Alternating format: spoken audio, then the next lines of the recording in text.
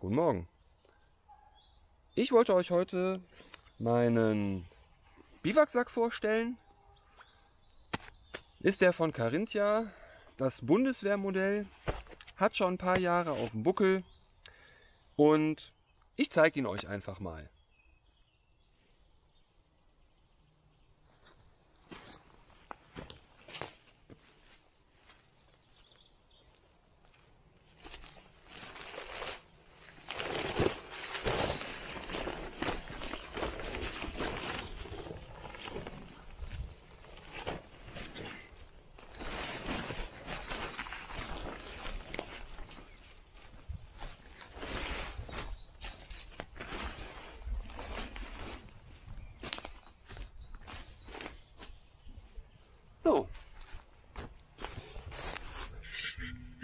Euch, glaube ich, mal ein bisschen umstellen.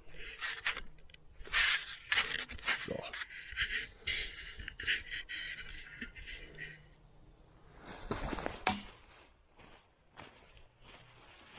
So, das ist er nun. Der Biwaksack von Carinthia.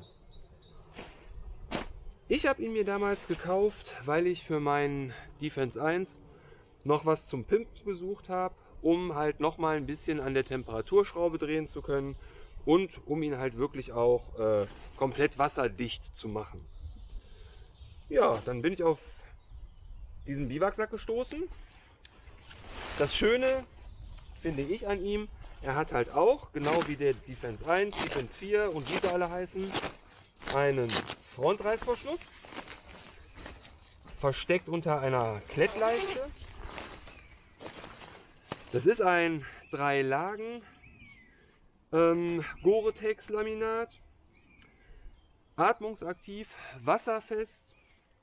Ähm, ich habe damit schon des Öfteren auch mal, ja, nicht komplett im Regen gelegen, sondern es fing über Nacht an zu regnen, dann bin ich unter dem Tarp vorgerutscht und irgendwie hingen dann die Füße unter dem Tarp raus.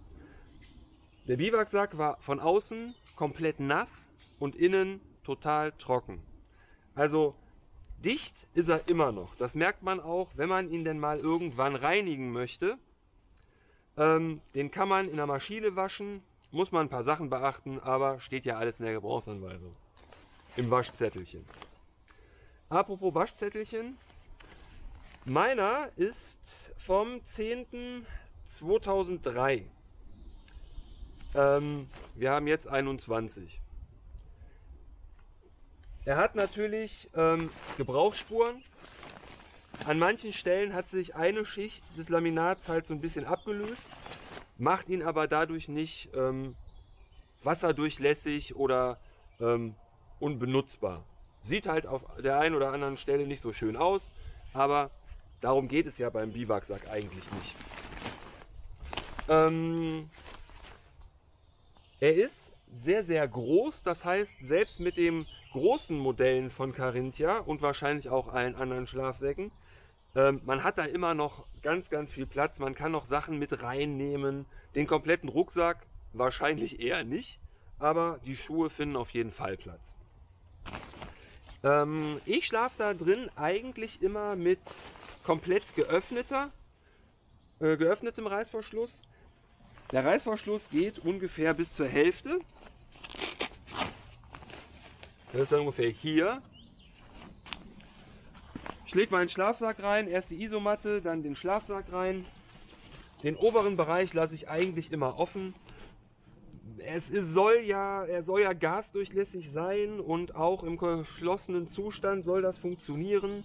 Aufgrund dessen, dass der ja nun auch schon ein paar Tage alt ist, ich würde es nicht machen. Abgesehen davon, ähm, so einen Reißverschluss vor der Nase zuzumachen, ja, ohne Loch, ohne alles, komplett, nee, nicht so meins. Im Grunde habe ich ja eh immer einen Tarp dabei, das heißt, eigentlich liege ich unter dem Tarp in dem Biwaksack. Ähm, ich kann dann aber auch ruhig mal vielleicht nur ein kleineres Tarp mitnehmen, was weiß ich, eine Zeltbahn der Bundeswehr oder ähnliches, wo es gar nicht darauf ankommt, dass ich komplett ähm, unter dem Dach liege. Weil sollte was nass werden, ist ja nicht schlimm. Ist ja ein Biwaksack drumherum.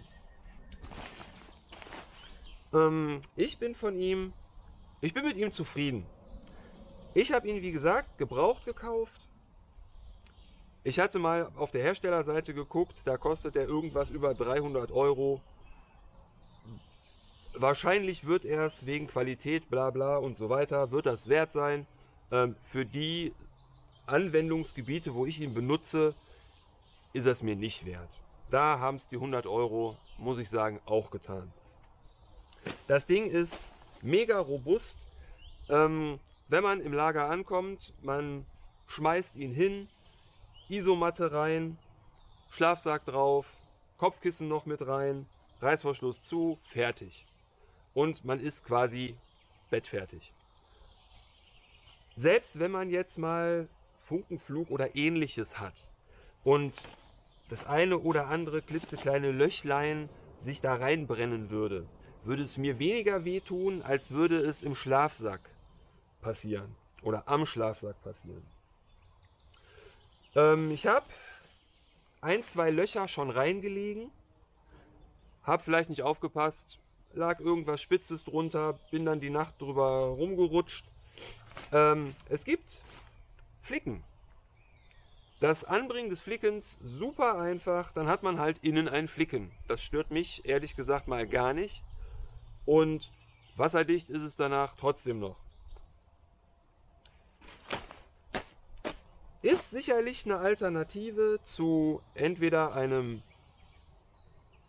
großen Zelt oder einem, einem Biwaksack mit Gestänge. Sollte man sich auf jeden Fall mal anschauen. Ähm, ich bin damit eigentlich zufrieden. In diesem Sinne, lasst ruhig ein Abo da, kostet euch nichts, bringt mir viel. Ich wünsche euch noch einen schönen Tag und sage bis zum nächsten Mal. Und tschüss.